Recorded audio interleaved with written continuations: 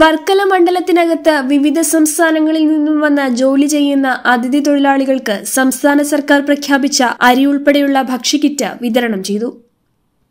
പള്ളിക്കൽ ഗ്രാമപഞ്ചായത്തിലെ നാദിയ ഹോളോബ്രിക്സ് കമ്പനിയിലെ മുപ്പത്തിയെട്ട് അതിഥി തൊഴിലാളികൾക്ക് നിയുക്ത M L A advocate V Joy kit വിതരണം ചെയ്തു.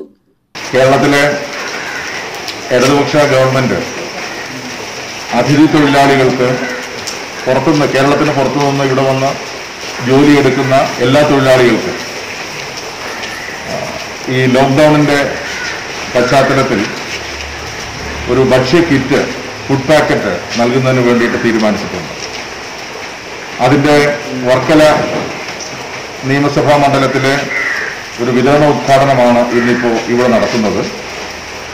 അതിഥി തൊഴിലാളികളുടെ ലിസ്റ്റ് എത്ര പേര് ഈ വർക്കലയ്ക്കുള്ളിൽ താമസിക്കുന്നുണ്ട് എന്നതിനെ സംബന്ധിച്ചൊരു ലിസ്റ്റ് ഇപ്പോൾ എടുത്തുകൊണ്ടിരിക്കുകയാണ്. അപ്പോൾ ആ ലിസ്റ്റ് അനുസരിച്ച് എല്ലാ അതിഥി തൊഴിലാളികൾക്കും ഗവൺമെന്റിന്റേതായിട്ടുള്ള ഈ ഭക്ഷ്യ കിറ്റ് നൽകുന്നതിന് വേണ്ടിയിട്ട് തീരുമാനിച്ചിട്ടുണ്ട്. അപ്പോൾ അതിന്റെ ഒരു വിതരണ ഉദ്ഘാടനമാണ് നടത്തുന്നത്. നിങ്ങൾക്ക് ഒരിക്കലും ഒരു പട്ടിണി ഉണ്ടാകരുത് ഒരു ബുദ്ധിമുട്ട് പ്രയാസം ഉണ്ടാകരുത്. ഭക്ഷണത്തെ സംബന്ധിച്ച് ഒരു പ്രയാസം ഉണ്ടാകരുത് എന്നുള്ളത് വെച്ചിട്ടാണ് ഗവൺമെന്റ് ഇത് ചെയ്യുന്നത്. നിങ്ങളെല്ലാവരുടെയും അനുവാദത്തോടു കൂടി ഈ ഭക്ഷ്യക്കിറ്റിന്റെ ഔപചാരികമായിട്ടുള്ള വിതരണോദ്ഘാടനം നിർവഹിച്ചു ഗ്രാമപഞ്ചായത്ത് president M Haseena Varkala A Abhilash Sajeev Hashim Manu എന്നിവർ സന്നിഹിതരായിരുന്നു. H P news Varkala.